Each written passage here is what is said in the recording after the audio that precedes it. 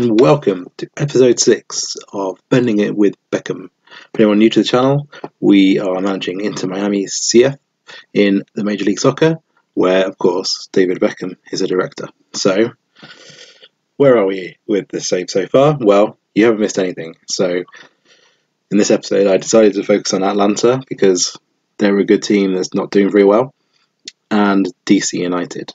So you haven't missed anything. The only thing you have missed is that our striker, basically our only striker, Juan Agudelo, is injured. He picked up a three month injury. I think it was like abdominal injury, a torn abdominal muscle. So he's out for seven weeks to three months, which means we've had to place him on disabled list, so he can't play for the next six games. So he can't play for six games, which means we're going to bring in Carranza. And we're going to pop Robbie Robinson on the bench. Unfortunately, Wil Trapp is also on international duty. So why? That is ridiculous, isn't it? MLS takes place when players are on international duty. So we're to have to play Feilhaber that side, maybe? No. Guido's more comfortable that side, so we'll play him. And then McKean's going to come onto the bench. Power is back from injury, so we're going to pop him on the bench. Okay, I think we're good to go. So we are up against Atlanta, who are bottom of the Eastern Conference at the moment, which is a huge surprise. And you can see they've got this guy who was top scorer in the league last year. So today we've got Robles in goal, we've got DeLaGarza and Sweat remaining left back and right back, Figal and Reyes centre back, Guido, Ulloa, Feilhaber in midfield, with Pizarro Bojan in behind Carranza, who hasn't scored for us yet. He made like two appearances. This is his first start for the club. So we've got attack Carranza, Sweat, Joa, And they no, they've not laid it. Ulloa's kept it. Guido, Carranza. That's well saved. Well, they've got a free kick and they scored. Miles Robinson has scored. Surprise, unsurprisingly, Gonzalo Martinez with the assist. And they're looking to play it out from the back. They've got Guzan in goal. And they're looking alright, they're knocking the ball around well. We need to keep an eye on Martinez.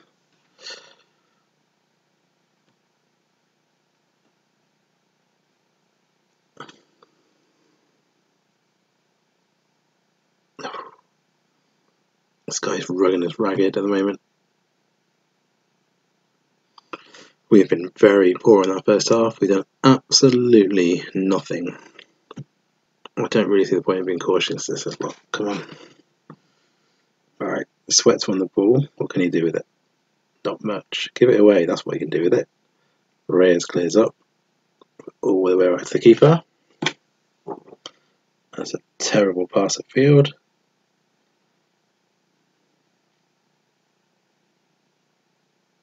We are not playing well today.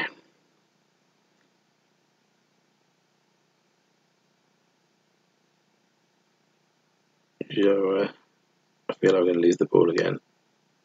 Uh, two indirect free kicks. I don't see us getting back into this. We've not been very good. Guido's nicked the ball. Carranza's in again. It's good. That's Carranza's first goal for the club. Julian Carranza. Nice little ball through from Guido. Carranza gets in behind and slots it nicely. There's something out of the game. Feilhaber is knackered. So we're going to bring this guy in. Pizarro and Bojan have just been poor.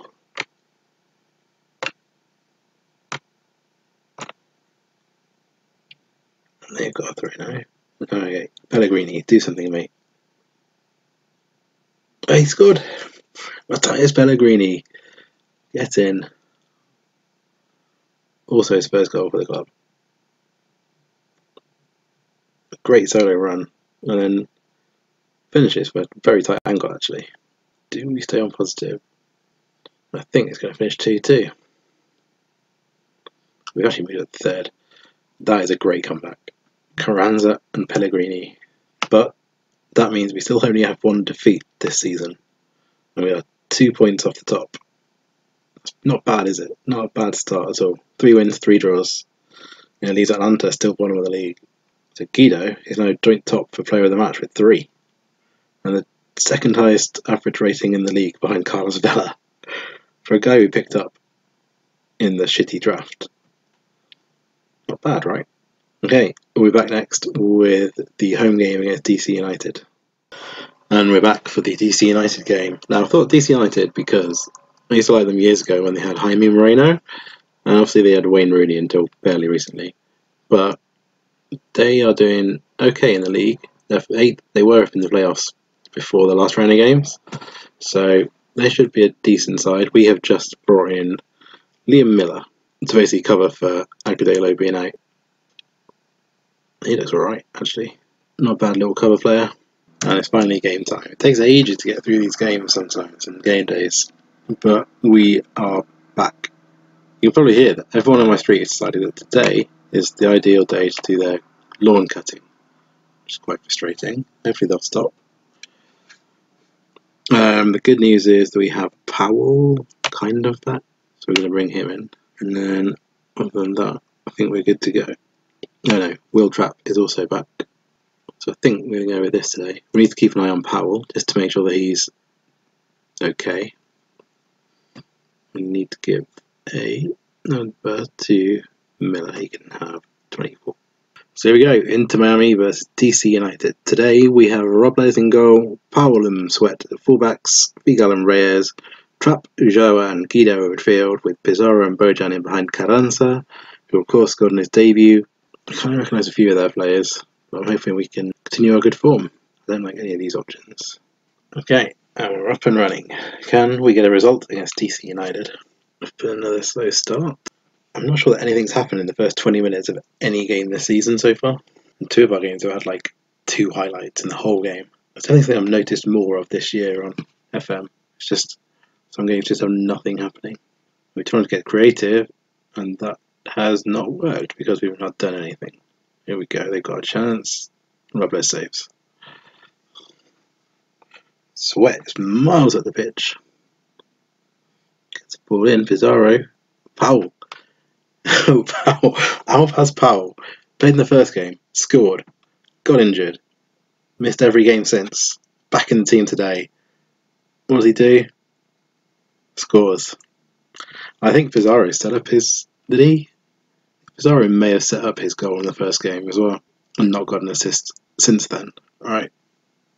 Let's go and take control, boys. We've got a free kick. And Guido. Well, Alejandro Guido turning into the signing of the season. Reyes knocks the ball across, and Guido's there, two yards out, to nod it home. He's averaging 7.8 before this game.